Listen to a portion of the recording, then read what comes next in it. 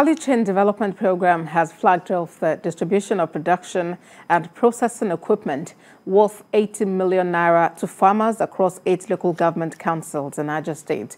The national coordinator of the program said the goal is to boost rice and agriculture production to mitigate food shortage. Chenemi Bameyi reports. Agriculture is one sector that was greatly hit by the floods that swept through 21 local government councils in Niger State. The state is one of the largest producers of rice in Nigeria.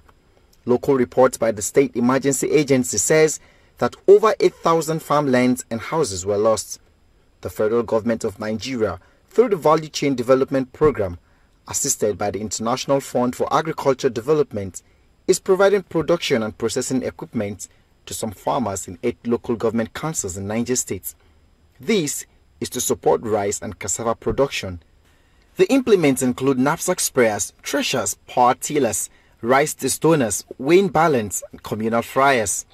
The Niger State Governor is represented by his deputy Ahmed Ketso at the flag off of the distribution exercise. It's very clear. I want them to make judicial use of this and also to add value to the economic uh, value chain of their various local government, of course the state at large, and also to show more commitment to ensure the productivity of whatever they are producing. Anyway, to make sure that they utilize them efficiently because it's for their own good. It is for their own good to improve their own livelihood, to improve, to enhance their own food security, and also improve their standards of living. We are already on top of the post-flood effect uh, by way of uh, sensitizing our farmers to make sure they partake in the dry season farming.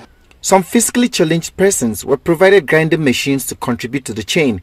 Rabia Tudanyaro is blind and one of the beneficiaries. By getting this grinding machine, I'll be able to buy soap and food for myself and take care of my family.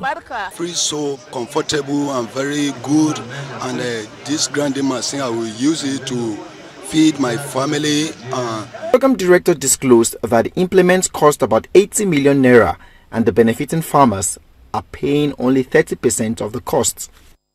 Dry season farming is the next available option to cushion the effects that this flood has had on agriculture. With these implements, the farmers are able to go back to farm when the water recedes and continue the agricultural production to avoid food shortage in the coming year. Chanemi Bami, TVC News, Minna.